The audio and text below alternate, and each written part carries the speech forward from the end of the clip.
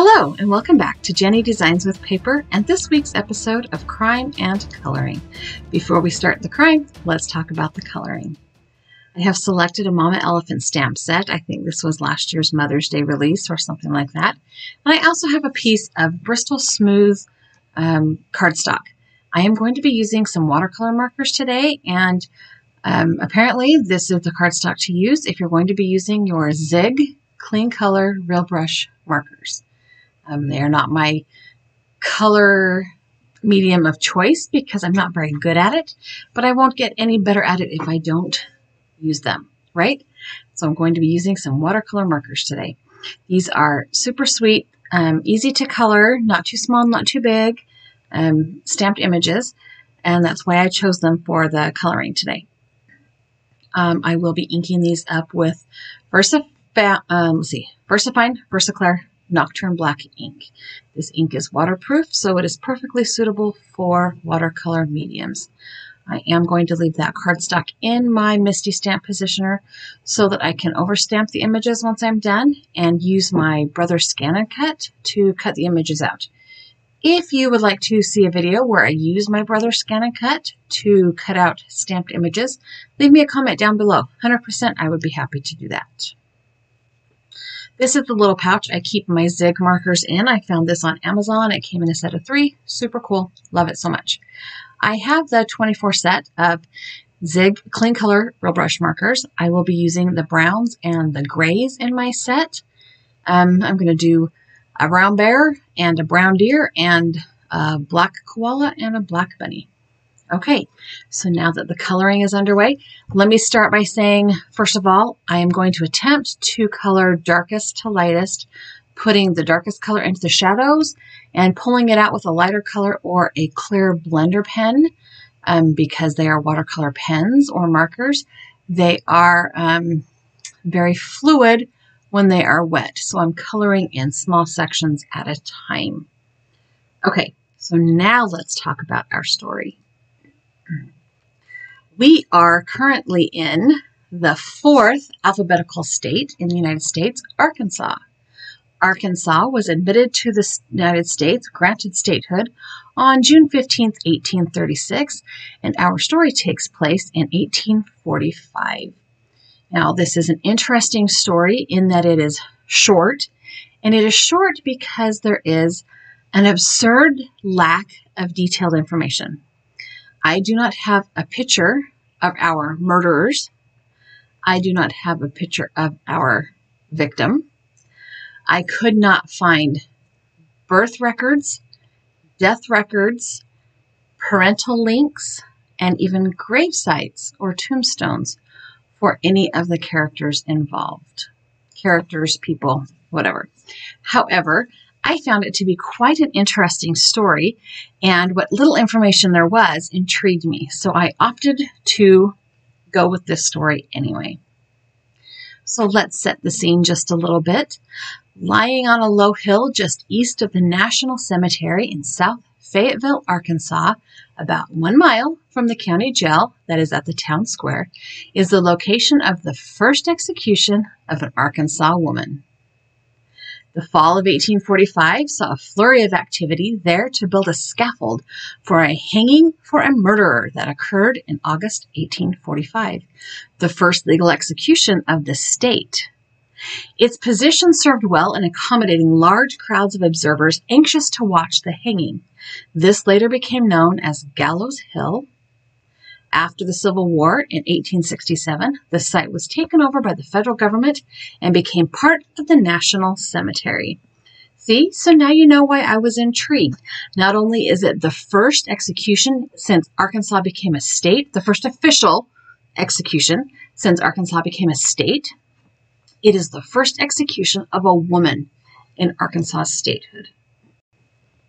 Crawford Burnett was born about 1785 in Hanover County, Virginia, to John and Elizabeth Tate, or John Burnett and Elizabeth Tate. I couldn't find much about his life at all, except that there is a marriage record to a woman named Lavinia May Sharp on the 29th of December, 1810, in Patrick County, Virginia, and her marriage license lists her or the marriage certificate lists her as having been born in about 1785 as well. I haven't found any records of her birthplace or even her parents' names. Crawford and Lavinia were the parents to at least two children John, born about 1811, and Minerva, born about 1820. Sometime after Minerva was born, they left Virginia and moved to Trigg County, Kentucky, and lived in the home of Crawford's brother Cornelius. Later, Lavinia and Crawford settled eventually into Arkansas. On August 12, 1845, a reclusive bachelor living in Fayetteville named either Jonathan Sibley or Jonathan Sebley, Selby, okay, two names, same person, was killed, and, and suspicion almost immediately fell on the Burnetts. Not sure why. It was rumored that Jonathan hoarded his wealth in his remote cabin. He paid cash for 80 acres which probably contributed to the idea that he was wealthy. Um, he also purchased livestock and building materials for his home and outbuildings and fences. Later court testimony revealed that he had made the mistake of allowing someone to see him place a quantity of money into his wallet. So let's pause there for a minute.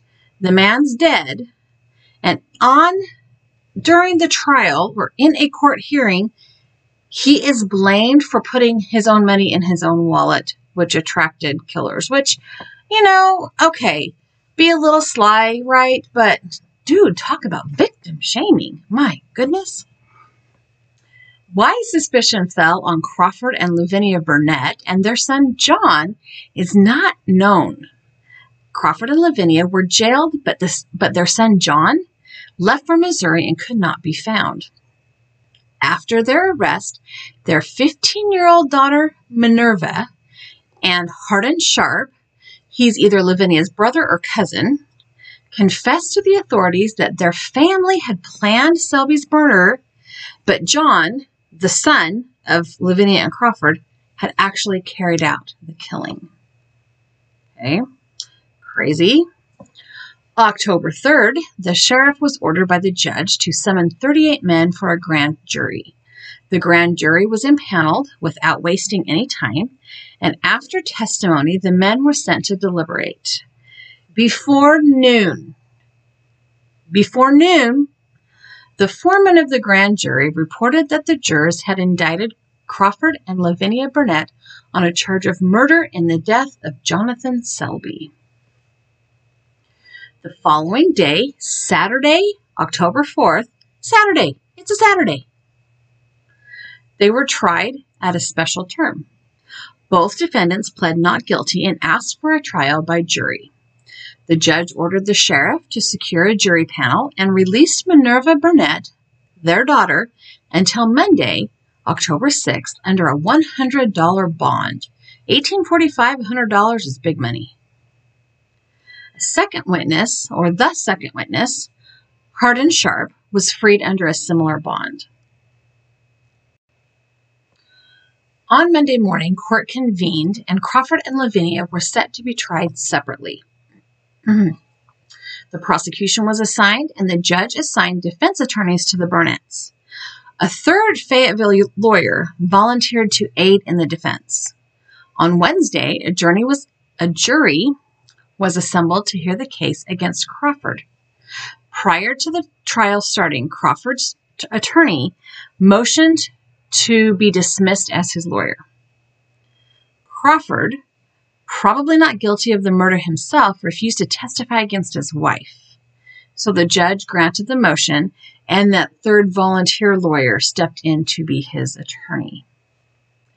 Um, Minerva and Hardin were the witnesses against their family, and the trial was quick. The jury, on the same day, found Crawford guilty of first degree murder, largely due to his own daughter's testimony. The following day, Thursday, Lavinia went on trial.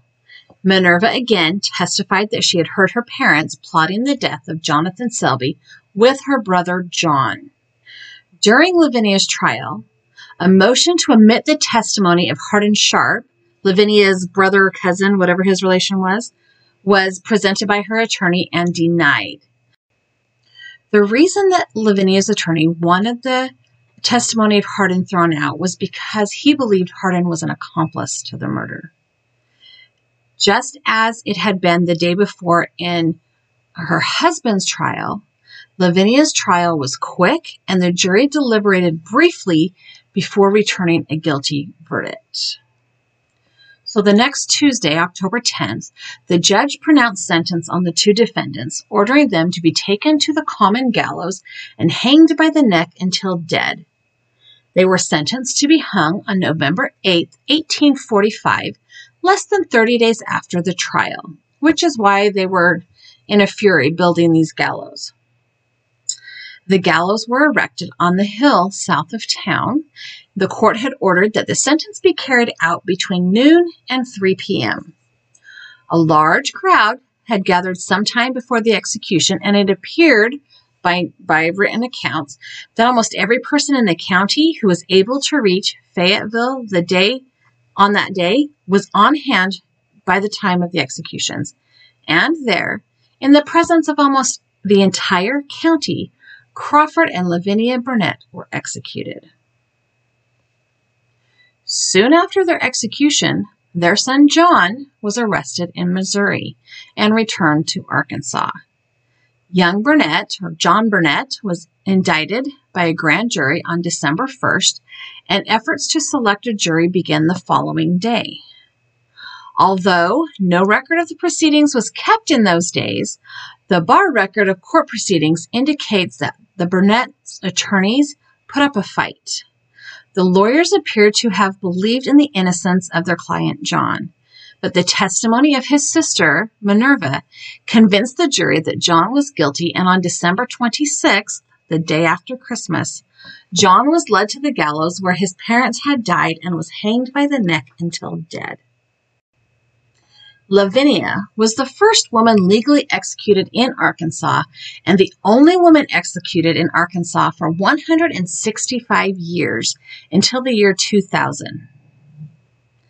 There is no record of anywhere of any of the Burnetts where any of the Burnetts were buried. It is um, thought that they were buried in Pottersfield, not too far from the site of the hanging. So I found this interesting because in this time, it was still considered um, relatively impossible for a woman to be a criminal unless she was mentally insane, in which case she was sent to live in an asylum until she was, quote, healthy enough to be released. So it's interesting that Lavinia was actually hung for her crimes. Minerva Burnett is said to have moved to Texas, where she married a man named Jonas W. Williams about two years after the execution of her parents and brother. Hardin Sharp is, is, is said to have moved to Missouri and married Lucinda Beck and lived out his life in the communities of Benton and Job, Missouri.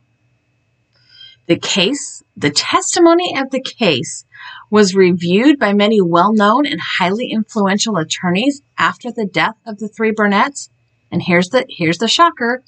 And it was general consensus that the daughter Minerva lied about her parents and brother out of revenge. Okay, what in the world did they do to this girl that she was so mad that she lied about them killing another human being?